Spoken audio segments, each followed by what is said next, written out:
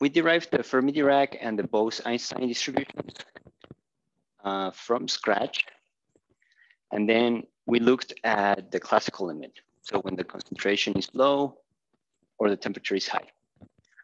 And um, looking at that distribution, which looks a little bit like that, uh, we were able to derive yet again uh, the properties of the ideal gas. So the uh, the free energy from the free energy you can get um, everything. So today we're going to look at a few, you might call them corner cases, but um, I think a better way to think about them is like orthogonal vectors uh, in math, right? Like i, j, and k. Um, pretty much um, a lot of situations uh, are going to be combinations of these cases. Okay, so the first one is, um, okay, so the title is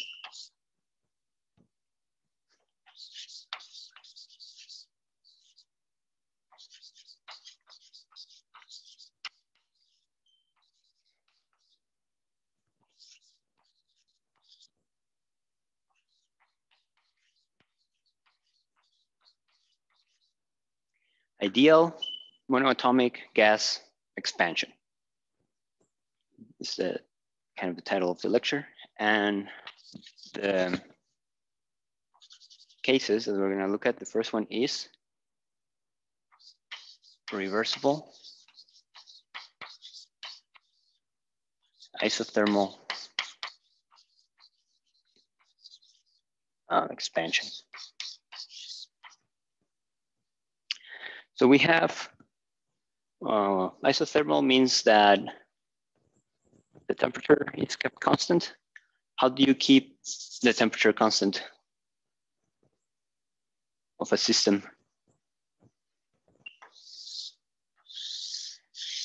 By putting it in contact with a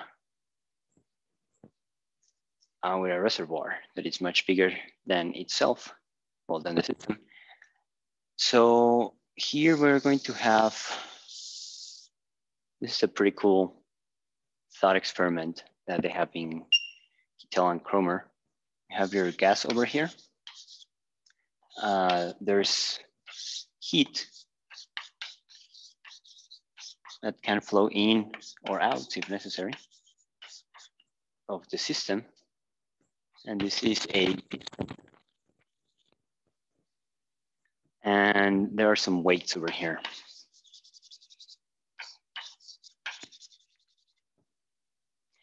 So you know, the size of these weights are, is really small. And so you can remove them little by little. And in a way that the gas is always in thermodynamic equilibrium. What's gonna happen when you remove one of these weights?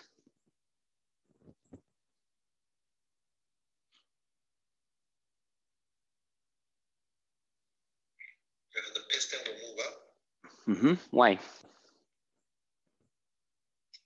Because you're putting in heat and there's an expansion. So you remove the weight, so there's less pressure on the gas, right? So the gas is going to adjust to the new pressure. So it's gonna move up to decrease its pressure. And you're right, the heat flows in and so it can keep its temperature. So it will um, expand without any problems. All right, so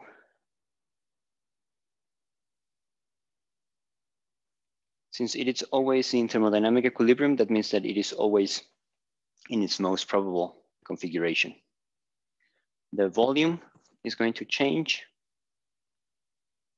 Um, from V1 to V2. And this figure is figure 6.7 in Kittel and Kroemer. Okay, so the pressure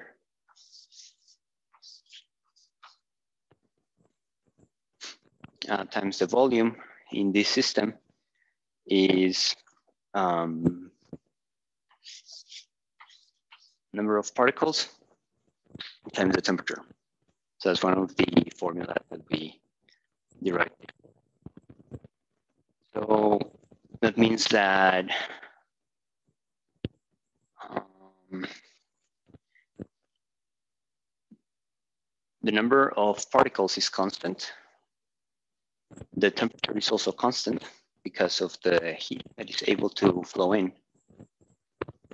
So this product, the pressure times the volume, is a constant.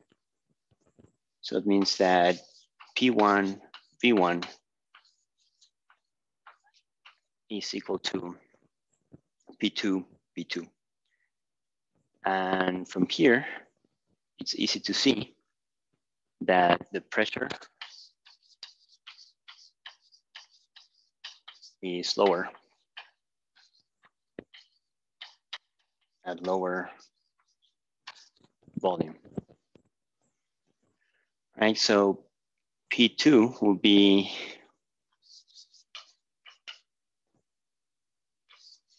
um, V1 over V2 times P1. And V2 is larger because it is expanding. So this is less than one.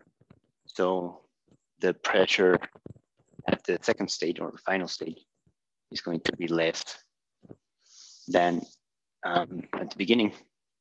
That makes sense because, well, it is just trying to cancel out the weight that was removed.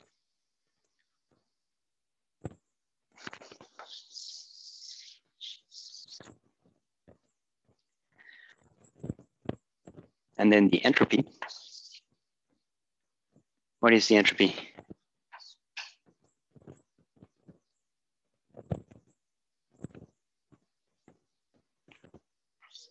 Number of particles, natural log of the quantum concentration divided by the concentration plus five halves. Right, so uh, Sackur-Tetrode. Okay, so in the the quantum concentration over here is the mass of the particle times the temperature divided times 2 pi h bar squared to the 3 halves. And the regular concentration is the number of particles divided by the volume. So the quantum concentration is going to change.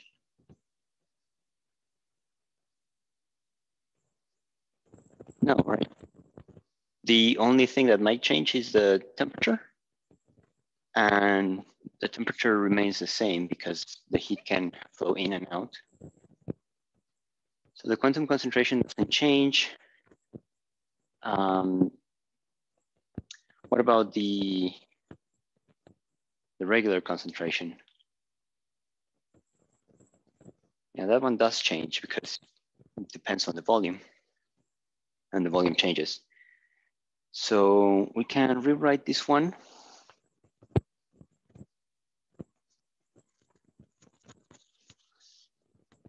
If we can put the volume over here and divide by the number of particles. Um, and then we can separate the n cube, which doesn't change, and the volume, which does change. And that one so be log of the volume as natural log of n cube minus natural log of n plus three halves, I mean uh, two halves. So all of this is a constant. The only thing that changes is the natural log of the volume.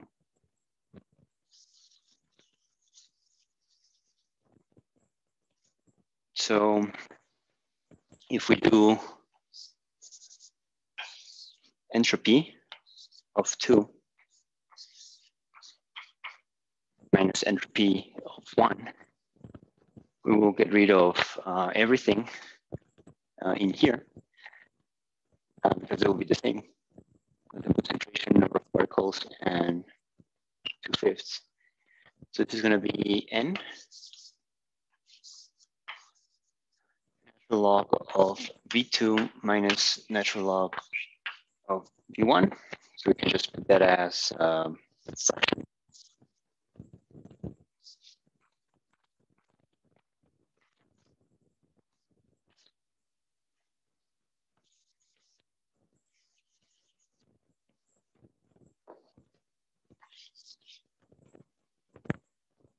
So that is equation uh, Kittel and Kroemer 6.56. And what we learn from this equation is that the entropy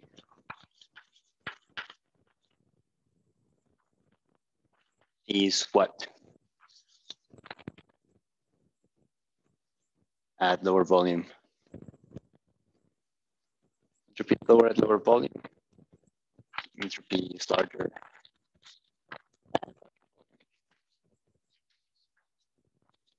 So V2 is greater than V1. Does that make sense? Why?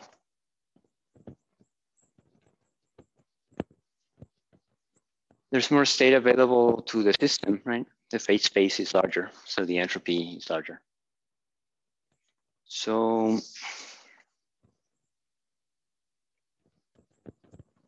the pressure, the entropy. Now we're going to, let's take a look at the work.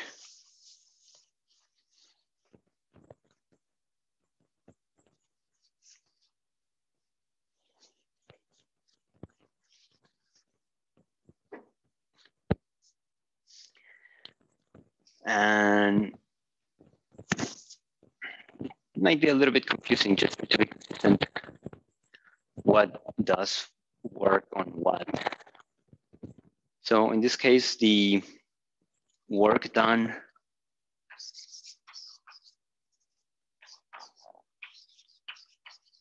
against the piston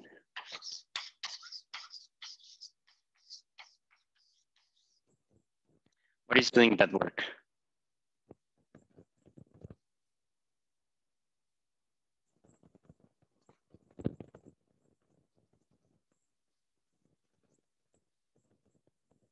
The expanding gas, right? So work done on the piston is going to be W. That means that the work done by the gas is minus W. So work them uh, against the piston by gas. What is the work?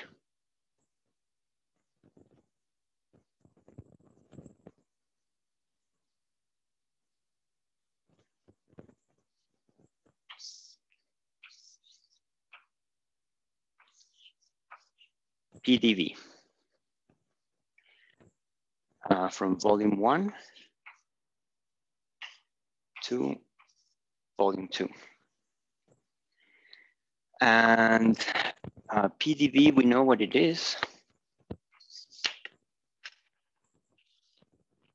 Um, well, actually, mm, we know what PV is. It's n tau. So the pressure as a function of the volume is n tau divided by the volume. Okay, so integral from V1 to V2 of n tau um, over V, dV, but the number of particles and the temperature is constant, are constant. So then the work is n tau integral from v1 to v2 dv over v. What is that integral?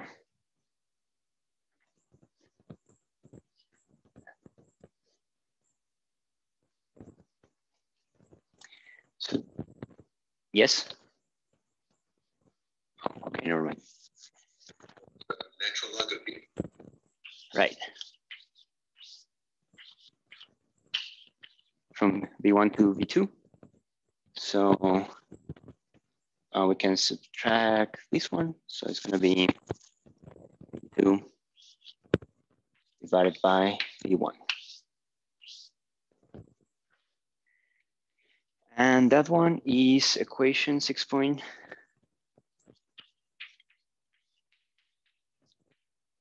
Sixty fifty-seven.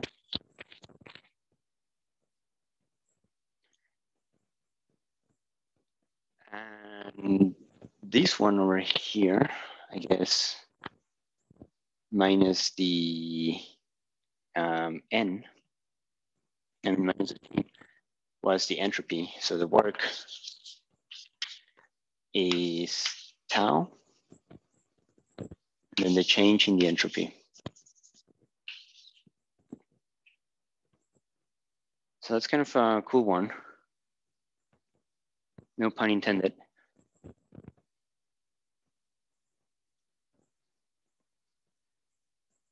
So the work uh, depends only on the change in the volume. These to our constant. That is the change in the entropy. So this is a pretty clean relationship for the uh, isothermal case. And so the work done by the gas is going to be what?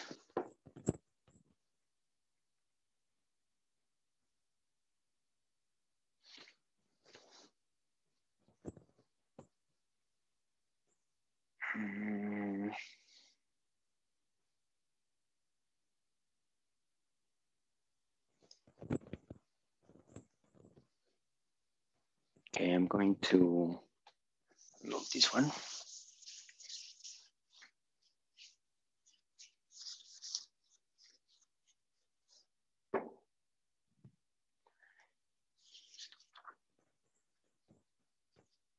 So the internal energy of the gas is going to be what?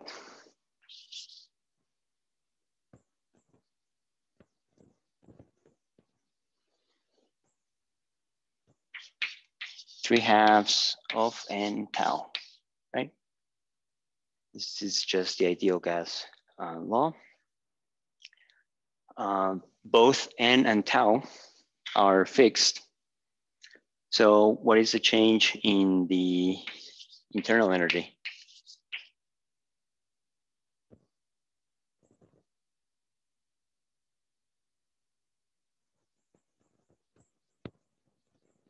Zero. Yeah, thank you.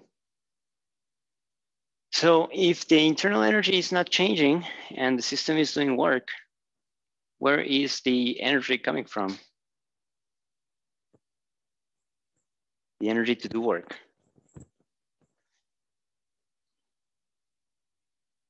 So from the thermodynamic identity, we have uh, tau d sigma equals du minus pdv uh, sorry, plus PdV.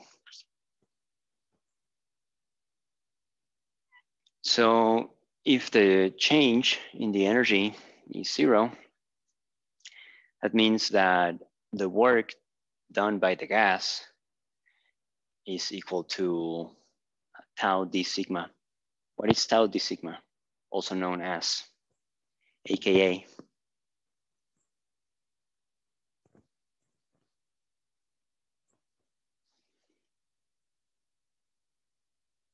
Q,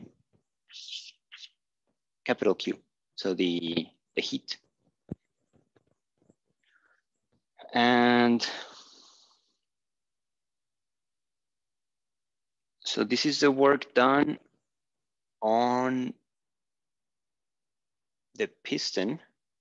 So the work done by the gas is minus um, PDV, so that negative work. So that means that Q plus W is zero. Okay, so this is just the first law of thermodynamics. So conservation of energy. Right. I bet you already knew all of this.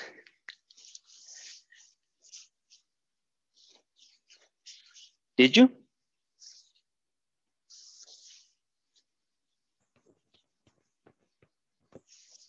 No?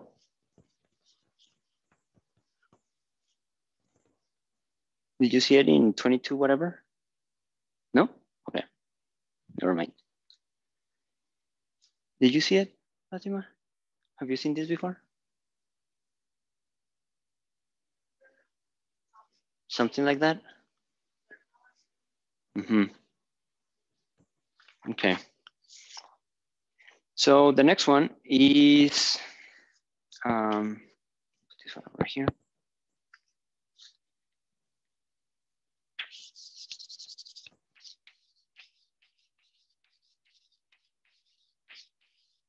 Reversible, isentropic.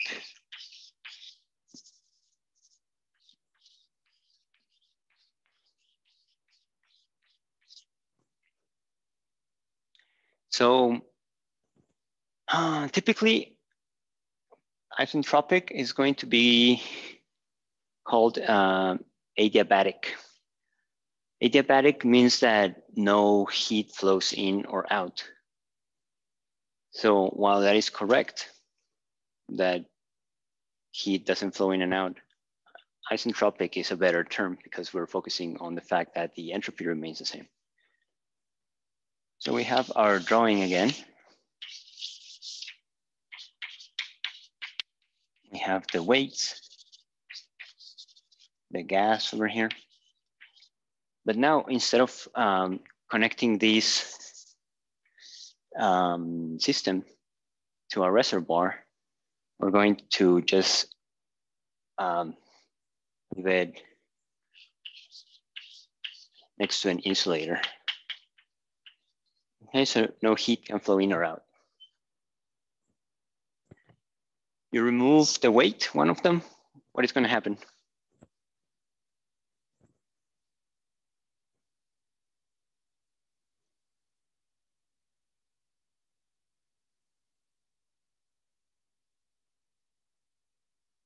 Well, it's going to expand.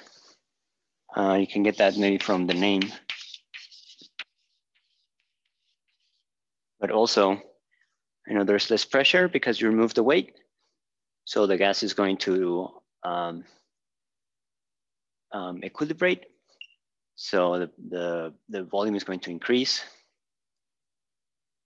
Um, but in the other case, the reservoir kept the temperature constant. What is going to happen to the temperature in this case?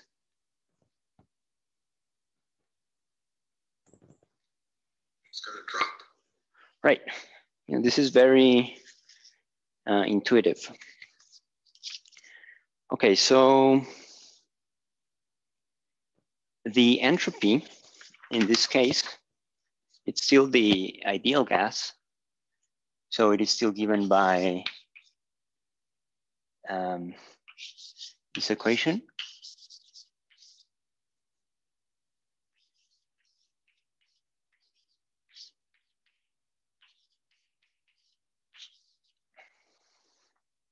Uh, oh, five, five halves.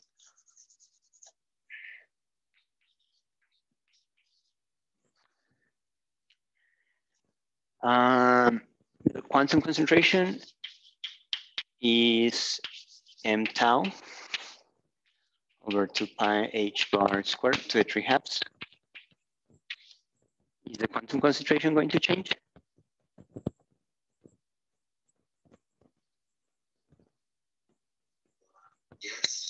Yes, we have a temperature over there, right? So it changes.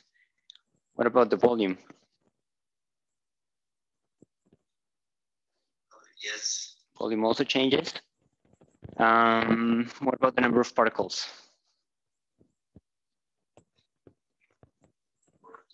That one remains constant, right? It's not, it's not um, it's an isolated uh, system. So then we can rewrite the entropy as n natural log of tau to the 3 halves. So taking, taking it out of the uh, uh, quantum concentration, natural log of the volume, natural log of the rest of the quantum concentration.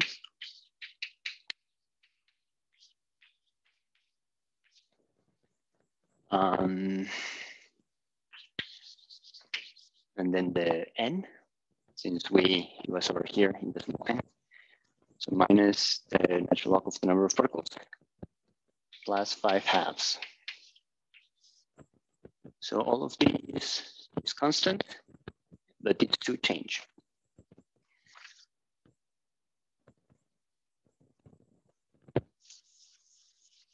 So plus constant.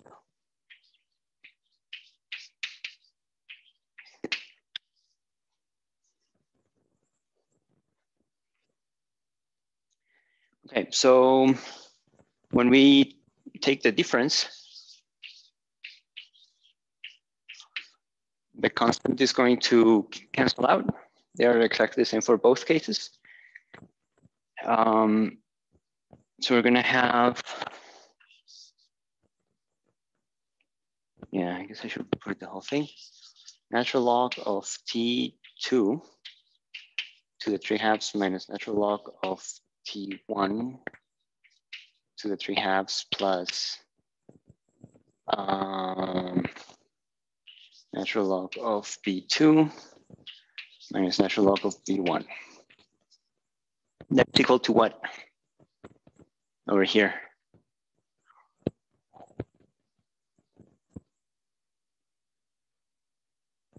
Well, it is isentropic. So the quantity that we are not changing over here is the entropy. So the change in entropy is zero. So we can rearrange those terms to get um, eventually, well, there's only like one step in there, but T1 to the 3 halves V1 equals tau 2 to the 3 halves V2. Uh, that one is equation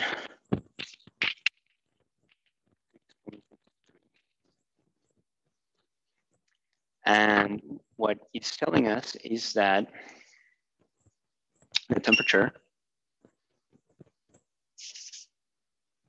um, temperature two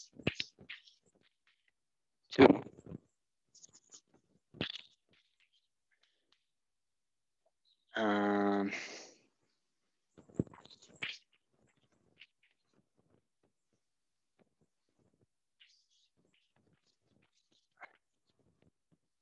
for V2, this is less than one, it's a fraction. So the temperature at the end is lower. Pressure is lower at uh,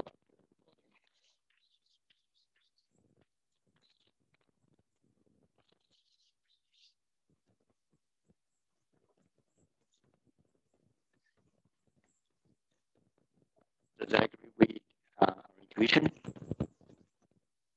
Yeah, I think so. All right.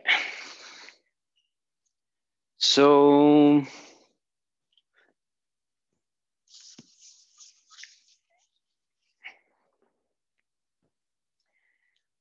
we know that PV equals n tau. So uh, can divide by V over here.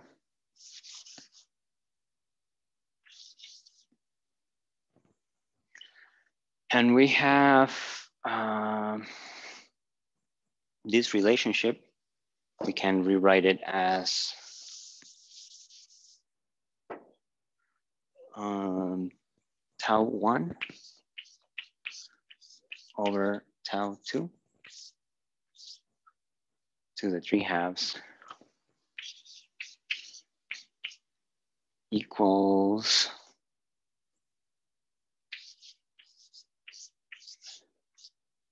V2 minus V1. So we can take you know, this one to the two thirds. And this one is just to the one. Right, so that is the, the ratio between the two temperatures. So P2 divided by P1 is N tau 2 over V2 divided by N tau 1 over V1. The ends cancel out. And so we can put the V1 over here and the tau 1 over here. And that is the ratio of the pressures.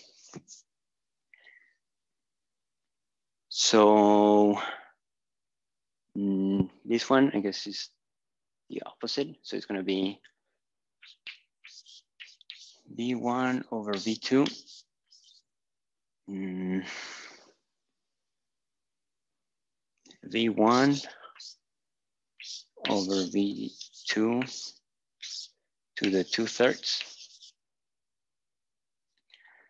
So we can put the V's in there. So this is gonna be to the five thirds now. We have three. So that is the ratio of the pressures.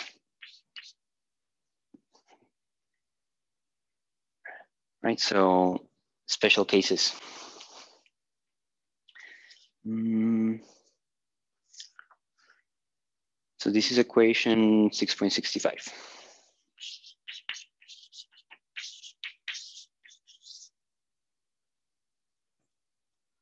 And what we tell us, what it tells us is that the pressure is lower at larger volume.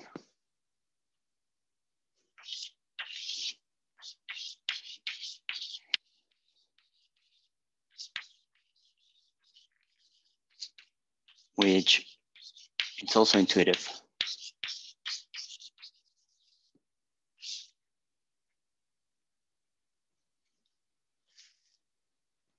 And since the well, PV equals NT, we can also get um, so the other relationship I'm just going to write it over here, is uh, tau 1 to the 5 halves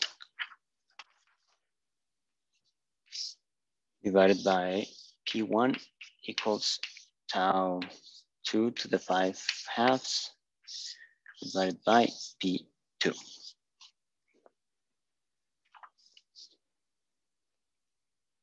All right. So now, if we want to check out the work,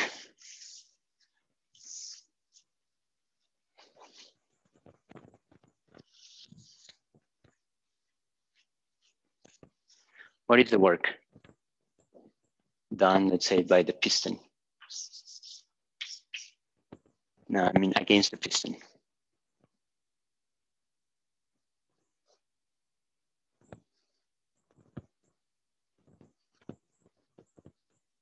Integral of PdV from V1 to V2. Do you agree with that?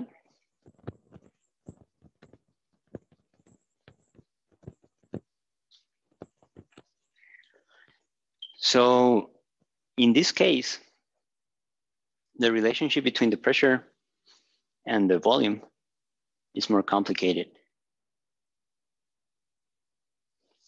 Um, so I'm going to put it over here.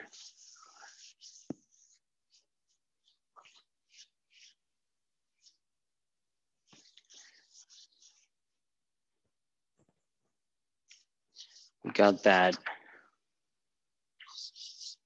P1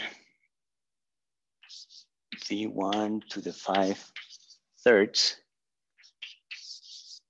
is equal to P2 V2 to the 5 thirds. So PV to the 5 thirds is a constant.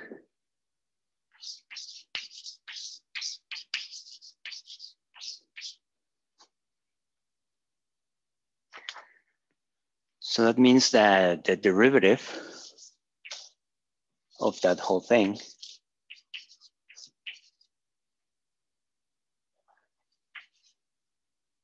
is what?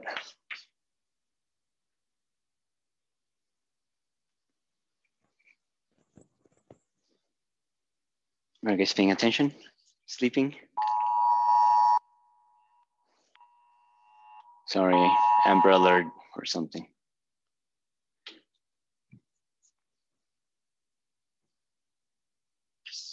Zero, right? If this is constant, then its derivative is zero. So we can rewrite this one as P times V times V to the two thirds.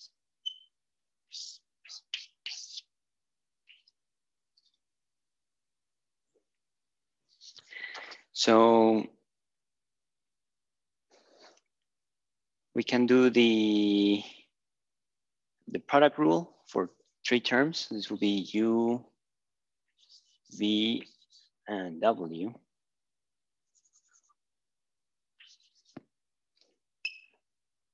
And we get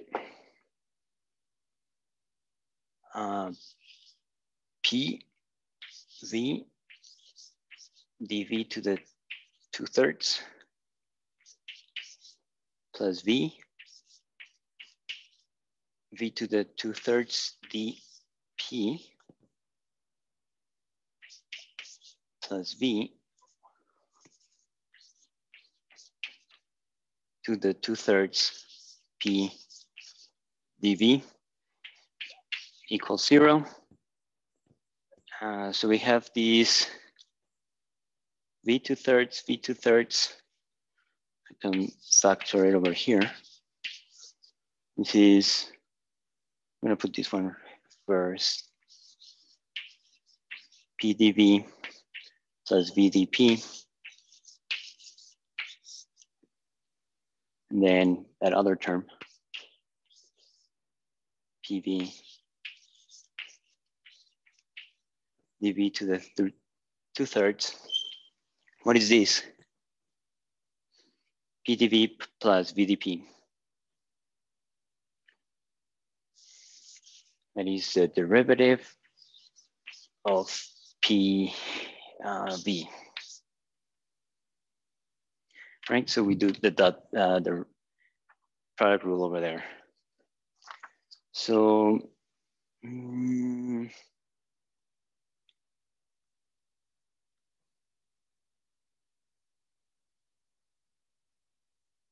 So this one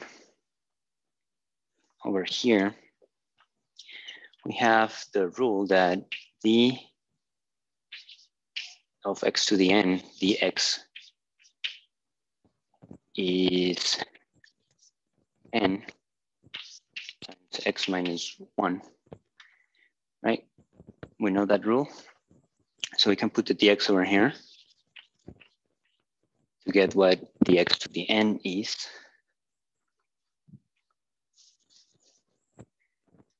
So that means that dv to the two thirds is two thirds v to the negative one third dv. So it's what we're gonna put over here. Two thirds b to the negative one third dv.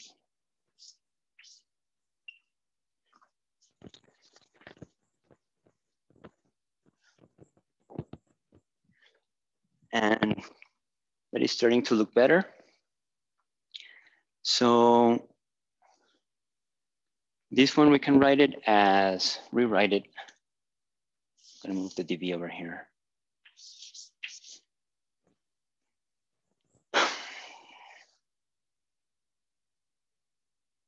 V to the two thirds divided by V, right? That still, still gives us the V to the negative one third. So now we can get rid of these V's.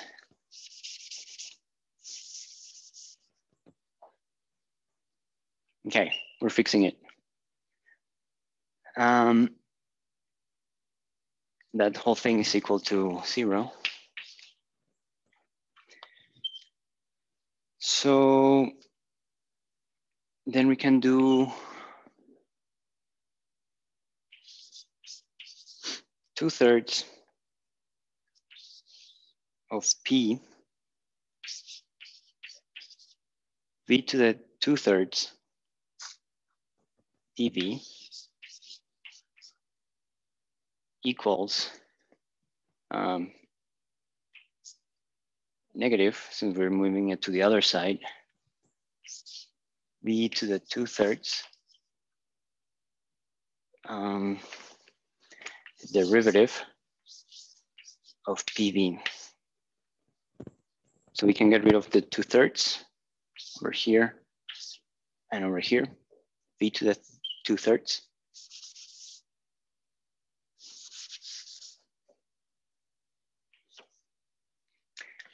And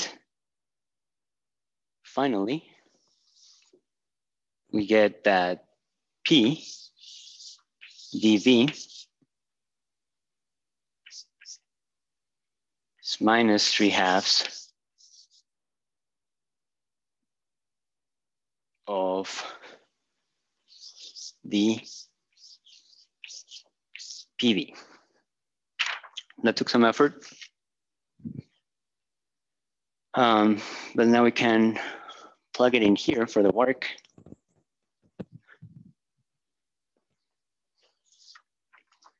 So where's my,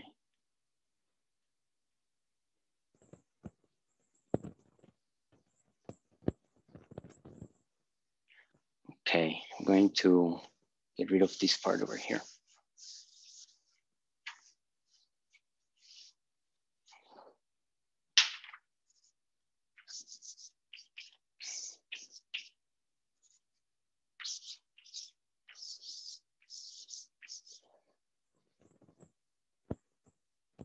This is equal to minus three halves of mm, so PV is what?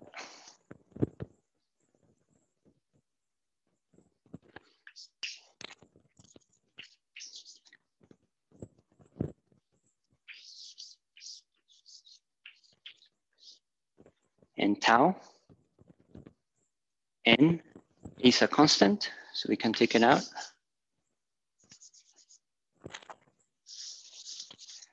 And so this is just a derivative of the temperature.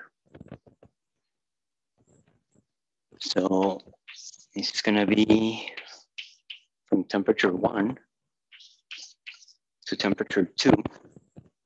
The N, we can put it outside. Well, that looks ugly. Anyways, N d tau. So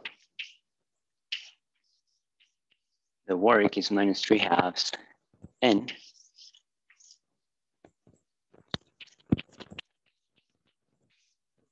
in the temperature. Isn't that cool?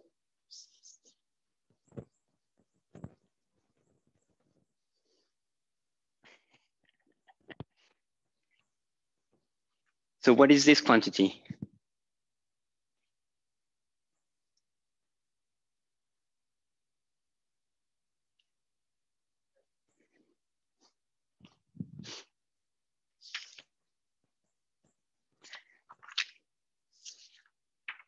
That is the internal energy.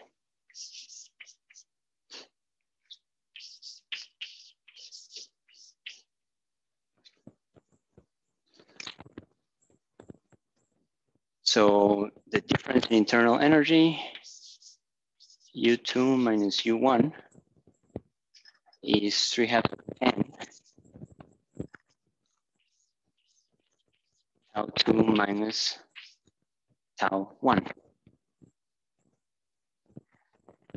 So the work is a change in the internal energy. That's a cool result. It has to be, right? Because uh, energy is conserved.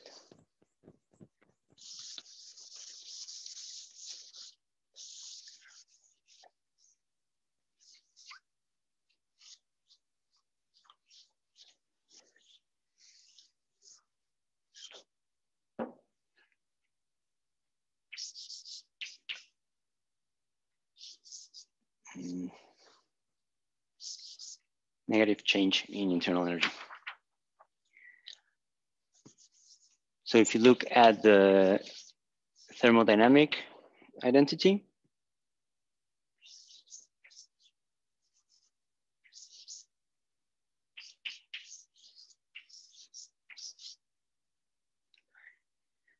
in this case, the heat flow is zero because it was with an insulator. So that means that the work over here is the change um, in the internal energy as expected. So conservation of energy. First law of thermodynamics. All right, last case.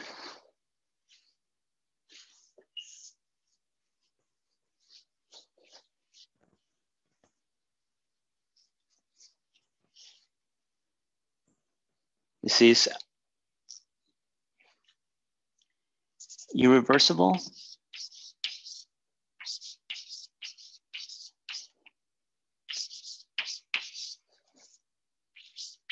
Expansion into vacuum.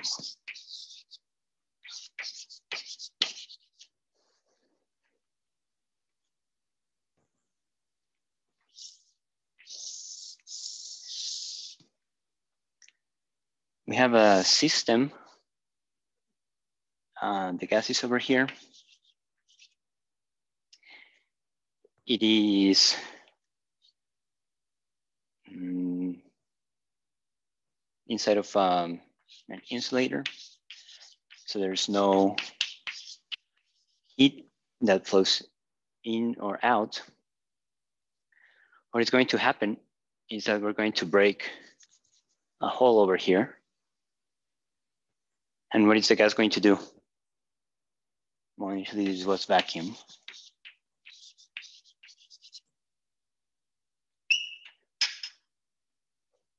What is the gas gonna do?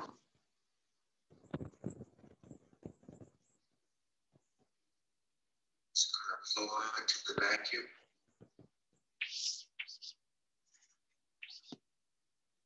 So afterwards, this whole thing is full.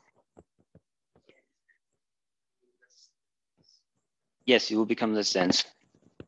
So what is the work done by the gas?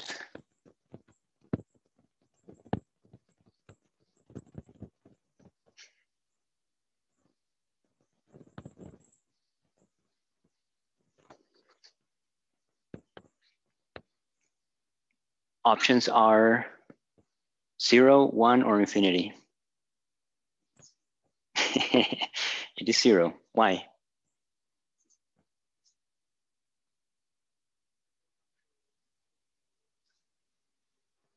There was nothing to move.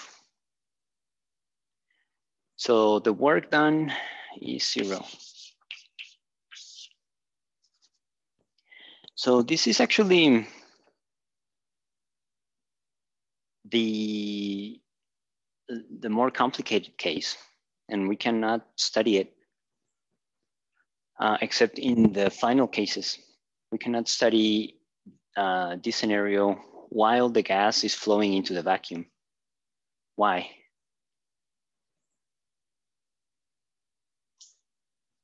Because, it is not in, in thermodynamic equilibrium,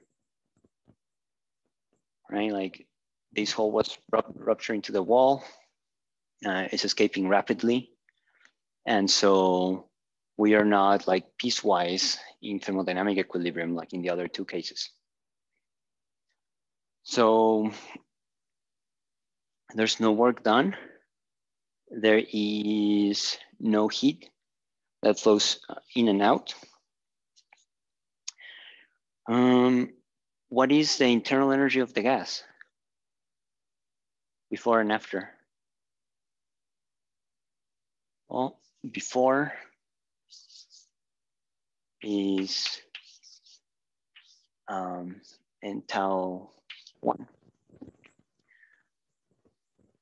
What is what is the uh, internal energy afterwards?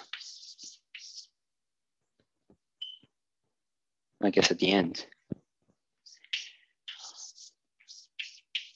in tau 2, but there was no work done. I mean, no um, heat flowing in or out. So this temperature is the same.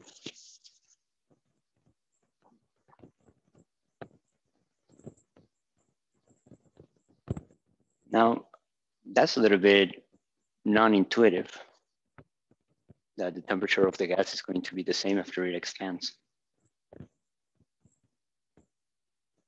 but maybe it's only non-intuitive because we don't really see this scenario very often in real life. So there's no work done. So the uh, internal energy remains the same. So the temperature of the gas remains the same. Uh, the, the pressure uh, is going to change, but now the entropy is going to be just like in the previous case, n a natural log of v2 minus v1. Yeah, so there is a change in entropy. So if we look at the thermodynamic identity,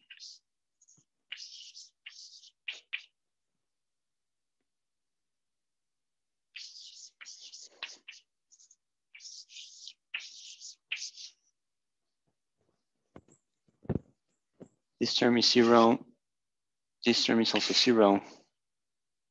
How come this one is not zero?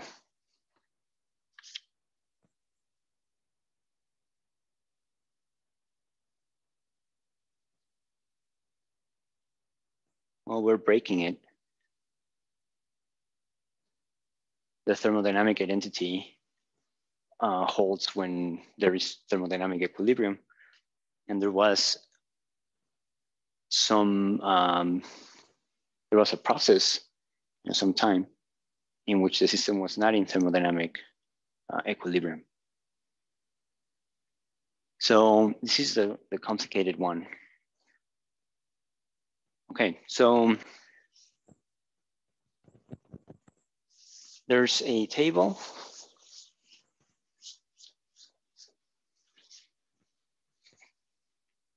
Mm. Table is, like I guess I right, didn't write the number, but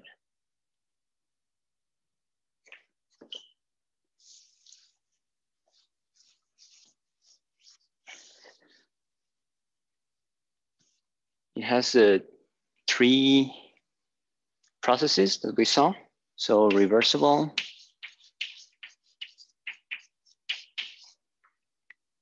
isothermal, and we have reversible isentropic and irreversible. And it is irreversible because there was a change uh, in entropy. We cannot, if, if we do work in order to put the system, well, in order to put the system back into its original position, so all the gas in the smaller chamber, we have to do work on the system. So, you know, when we do that, we create heat and we pay the price of the of the entropy. So we have the change in the energy. So for this one, zero. For this one is zero. The internal, the energy came from the reservoir. This one did have to do um,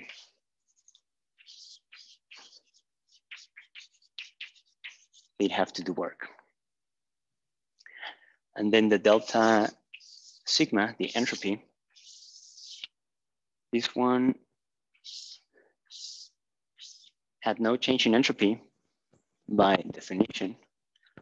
And then for both of these, we have the natural log of the ratio of the volumes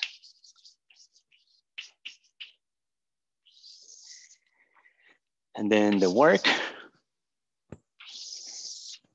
Um, this one did not work because there was nothing there. And the works were different for isothermal and isentropic. Isentropic was more complicated because of the relationship uh, P b to the 5 thirds constant instead of PV constant and the heat that flew into the system. Nothing here. It was uh, isolated. Uh, here also nothing. And here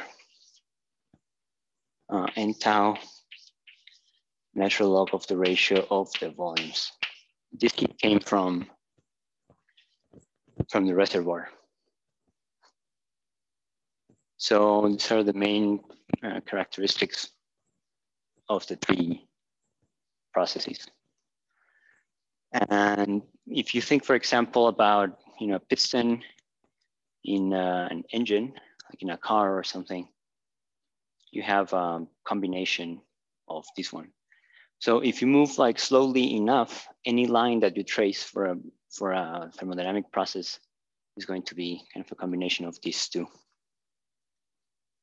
if you move really slowly, you know, in an idealized case. All right, so that was the end of chapter six. So let's look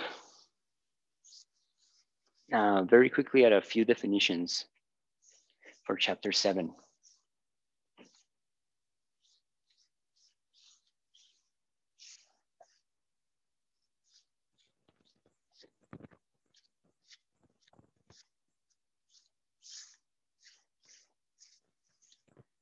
So the name of chapter seven is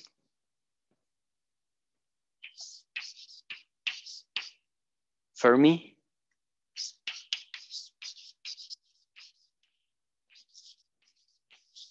and Bose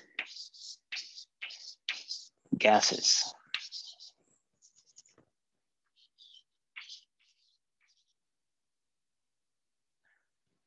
So in chapter six, we were looking at Fermi and Bose gases, but in the classical limit. And now we're going to see them in the quantum limit. So if you remember, uh, uh, this plot for the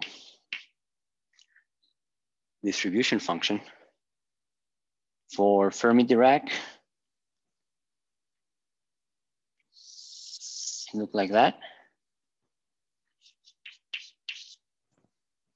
For Bose-Einstein,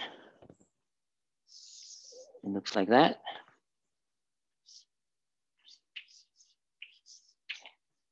And this was the classical limit.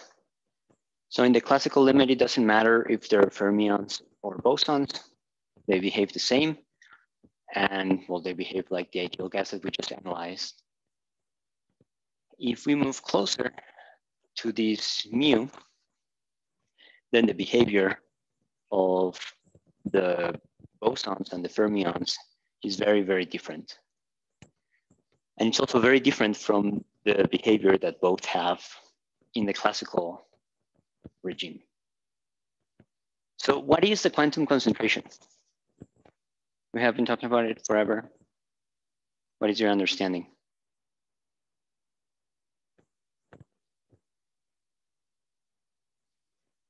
The way I think about it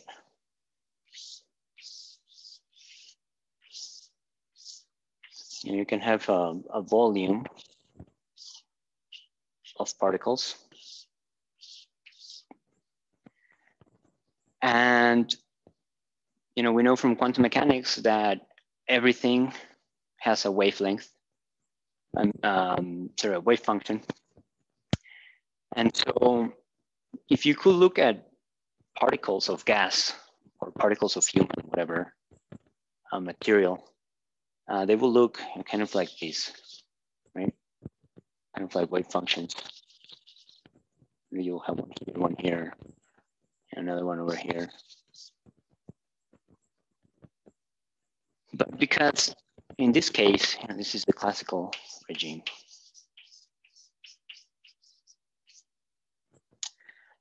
the concentration of the particles each is much smaller than the quantum concentration. Then they almost never see each other. And most of the time they're just like moving around. Um, you do not need to look at the actual structure of the wave function of these particles because classical mechanics tells you everything that you need to know about how they're going to behave. So the the quantum concentration and the way I think about it is like a it's a smaller box, you know. It's kind of like the space that the particle occupies. So this is another one. If you start to put a bunch of particles in here, you know, you increase the concentration by a lot. Actually, you increase it by enough that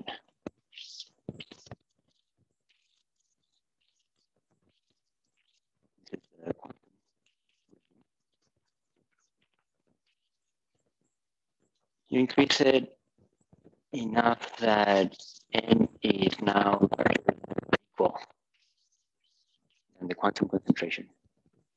Then these wave functions are going to start you know, overlapping with each other because they cannot go other places. Right, so we're gonna have a, a mess over here. If the wave functions are overlapping, so if you have you know, one of one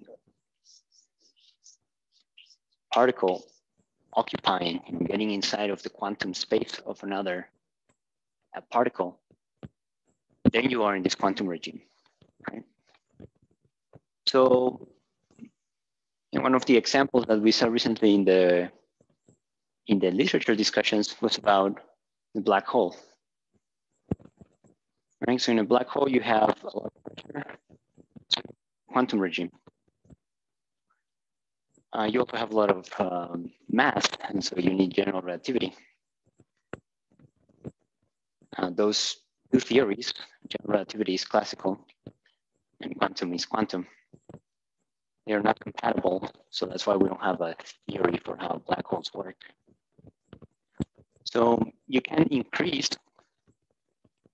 uh, you, you can go into the quantum regime by increasing the concentration a lot. Is there another way to you know, get to the quantum regime?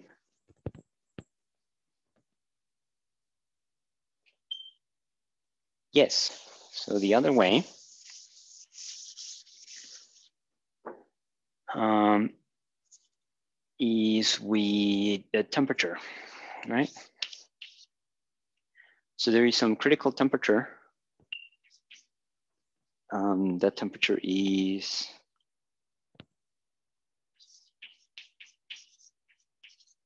two pi h bar squared over m to the two thirds, you know, and to the two thirds. Um, you can get to the quantum regime by decreasing the temperature a lot. So, you know, get close to one Kelvin, zero Kelvin. Why? Well, remember that when the temperature decreases, the wavelength of the particles increases. Okay, so the you don't know the velocity very well. I mean, the velocity is really low. So then you don't know the position very well. That's uh, you can also get it from the uncertainty principle. So at very low temperatures, even if you don't, if, even if your concentration is not that high, the wave functions are going to start to be really, really low. I mean, uh, long, right? So they will start, they, they will go into the quantum regime. So there's a lot of very interesting uh, physics in here. So um, uh, bosons, they're all going to move to the, to the ground state. All of the bosons are going to be in the ground state. And you have things like superconductivity and you know, superfluidity. And since it is a bosonic quantum effect, that's why you need low temperatures for superconductivity.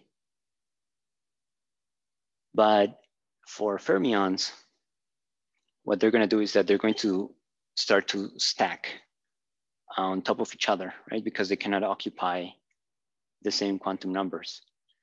So uh, they're going to have more and more energy as they are, uh, as if you have more particles, they cannot all fall to the ground state, the ground state of the system, the ground state orbital.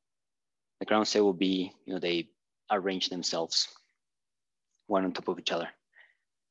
Uh, that has interesting um, consequences. So it turns out that metals, any metal that you can touch with your hand, it's in a quantum state. And the electrons are very close to being to their ground state of the system. Um, and the physics that describes metals is the same physics that describes white dwarfs and neutron stars and the nucleus of the atom is the same physics. So uh, we're going to analyze you know, metals and, and white dwarfs. And these are cool, cool cases. And when you have a system, so a Fermi gas or a Bose gas that is in the quantum state, it is called a uh, degenerate gas. So degenerate, as opposed to how we use it at the beginning of the semester, which meant that you had more than one state um, for a particular energy. Here, degenerate means that it is very close to uh, quantum. Oh, it is in its quantum uh, state. All right, and I think that's all I wanted to say about that. So I'm going to stop recording. Any questions?